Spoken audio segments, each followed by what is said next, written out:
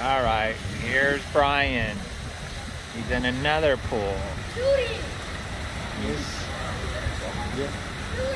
Okay, good.